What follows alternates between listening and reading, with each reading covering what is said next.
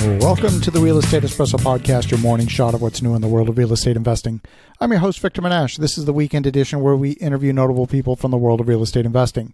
Today is no exception. We have a great guest. Today's show is a Q&A segment hosted by yours truly with Mayor Jim Watson, the mayor of the city of Ottawa, a city of a little over a million people.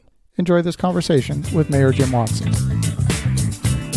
Our next speaker needs no introduction. He has presided over the city of Ottawa growing up from a medium-sized city to a major world city, and he's been he's had his hand steadily on the helm for much of that time.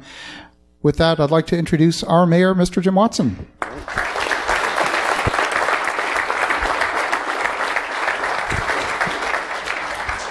Well, first of all, thank you, Mr. Mayor, and we'd like to give you a little gift as a thank you from Oreo. Thank you very much. And hopefully there's no conflict of interest. and I don't have to register as a lobbyist to give it to you or anything. under $100? It's under $100, Okay, so we're good. Okay, good. Thank you. So we're going to take some questions now. I think uh, Yes, why don't, I, why don't I kick it off? We'll, we'll go to the audience here in a moment. One of the big hot topics always, of course, is this question of affordable housing. And it really comes down to simple math. When you're paying a certain amount of dollars to buy a piece of land and construction cost costs what it does, the math dictates what you'd have to charge for rent. Otherwise, you're losing money and you can't compel investors to lose money. What are your thoughts?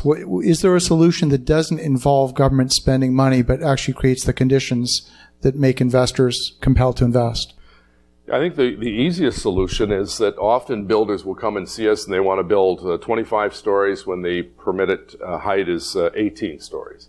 So uh, ha- there has to be give and take. If we're willing to give uh, some leniency to increase the number of uh, floors, then there should be a certain percentage of those units should be considered affordable. Uh, and uh, you know that makes sense economically. Uh, you have to figure project by project where it is, uh, but I think it, it shows there's um, you know we've seen this happen. We don't have the legislative authority to do that. We can use moral suasion. We've seen it happen on a number of projects with apartments. You get greater density, and uh, then you free up X number of units for affordable housing. So I think that's one of the ways uh, to do it because I recognize that people uh, are buying these buildings and investing in them as a uh, their nest egg, and uh, you don't want to um, simply be forced to provide affordable housing at a reduced rent and not receive any compensation for it. Has the city looked at anything like making it easier for developers, whether it's loan guarantees, things of that sort, that again, or perhaps even tax abatements that make the right conditions possible for investors to make those types of investments? Yeah, the city is very limited under the Municipal Act as to what it can do. That those kinds of ideas that you brought forward are called bonusing. We're not allowed to help one company that, to the disadvantage of another. What we have done is we have a brownfields rehabilitation fund, and that has helped a number of uh, units. I think of that whole development across from uh, on Hunt Club just uh, before the bridge, where there's uh, restaurants and I think a seniors home. That was all contaminated, and we provided something like I think three or four million dollars uh, that was matched by the private sector. It cut their costs in half, and then we generate the tax revenue uh, back from that. So uh, we do have that ability from a, um, an environmental point of view because, as you know, there are a lot of sites around the city that are contaminated. LeBreton Flats is one. We don't. Uh, we've said very clearly the, the program wouldn't apply to LeBreton because we're not going to subsidize the federal government. It's their land; they should clean it up. Absolutely. Well, so you've presided over this very spectacular project that now also spectacularly failed. What is the city's perspective on it? Can you? Is there anything that you can share on that? On LeBreton Flats, Yes. Anyone want to buy a hockey team? That would be the. Uh, I, I was um, uh, very disappointed. You know, the partners, uh, Eugene Melnyk and John Ruddy, uh, ended up suing. They're suing each other, and the whole thing unraveled. Uh, but uh, I have great confidence in John Ruddy, local uh, success story, owns Trinity, uh, was one of the partners with OSEG that did uh, Lansdowne. Uh, and, uh, you know, what, what frustrated me was that we were getting mixed signals from Eugene because, you know, in December, if you recall, of 2017, we had this great NHL Outdoor Classic at Lansdowne. I worked on that for four years to get them to come here to commemorate the 100th anniversary of the very first NHL game in history, which was in Ottawa in 1917. It all worked out. I ended up getting my appendix out and I missed the game, but I watched it on TV and uh, it was quite spectacular. Shania Twain coming out on a dog sled, very Canadian moment there. And uh, just before that game, Eugene uh, went and did an interview and said, "Well, maybe we don't have to move downtown." And I nearly fell out of my hospital bed. I said, "What is he talking about?" Because I had had a number of meetings with Gary Bettman, And Gary is really keen on getting the, the arena downtown because, as you know, there's no walk-up traffic in Kanata. No one lives within a walkable distance of Kanata. So yeah, that's why you have a lot of empty seats. The team not playing well, obviously, is another factor. But the fact is that, um, uh, you know, uh, Lansdowne through the Red Blacks and the Fury has lots of opportunities for, for walk-up traffic. And there's very limited public transit in Kanata as well. We put on the 400 series buses for, for game nights and so on. So, um, you know, the NCC are now back, not necessarily square one, but uh, they've uh, learned some lessons, and uh, there will be an RFP process of some sort uh, after the federal election. I don't think they're going to start uh, anything uh, before that. So probably at our November board meeting, we'll have a better idea of the roadmap. But I very much believe that we, even if we don't have an agreement to move the arena, because obviously Eugene owns it, we should carve off a section of the overall development site for an arena uh, so that whether you know he sells the team or you know whatever something comes along where it just makes sense, we have the land saved and reserved. Uh, but I want to be very clear. I don't. You know they wanted uh, the city to uh, pay for the arena. They didn't want to pay development charges. They didn't want to pay taxes, and then they want it rent free. I said, hmm, this sounds like a really good idea for them, but not for the taxpayers. So um, I think you know we can play our role in terms of the public realm of the, the, the, site, you know, whether it's sewers, water, parkland, and so on.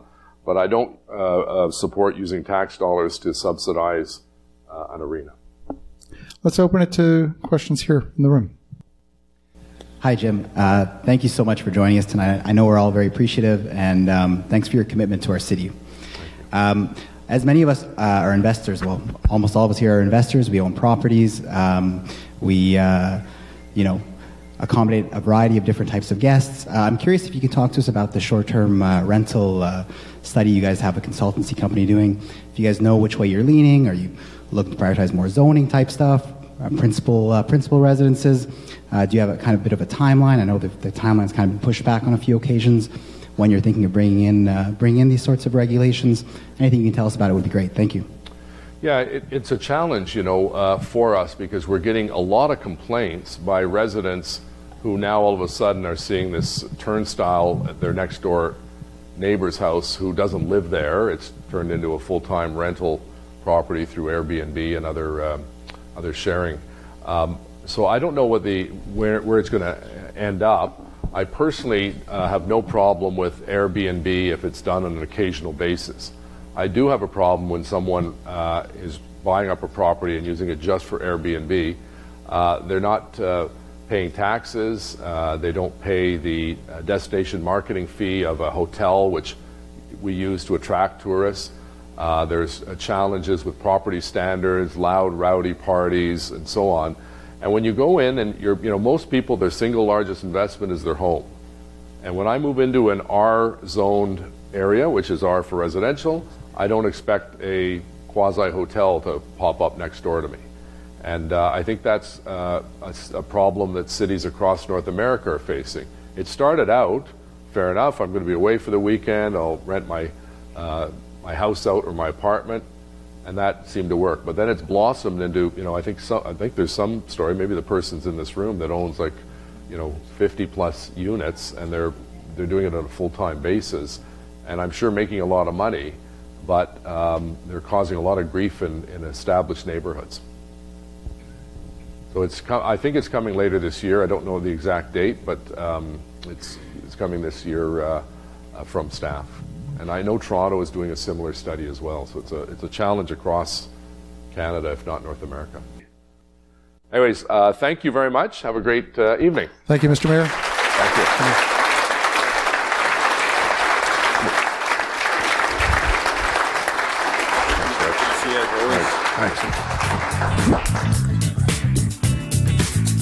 Hopefully, you enjoyed that conversation with Mayor Jim Watson. Doesn't matter where in North America you live, it's worth taking the time to meet with your local politicians, to have them come out and speak to your local real estate investors organizations. It's through that process you get an idea what the sentiment is at City Hall, and you open a genuine dialogue between the investor community and the politicians that are making decisions on behalf of not just investors, not just tenants, but all residents of the city. As you think about that, have an awesome rest of your weekend. Go make some great things happen. We'll talk to you again tomorrow.